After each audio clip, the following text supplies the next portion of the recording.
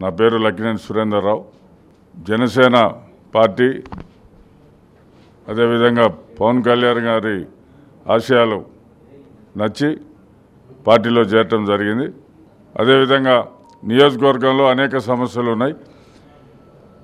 ఆ సమస్యలపైన జనసేన పార్టీతో కలిసి పోరాటం చేస్తామని చెప్పి తెలియజేస్తా ఉన్నాం. జై జనసేన.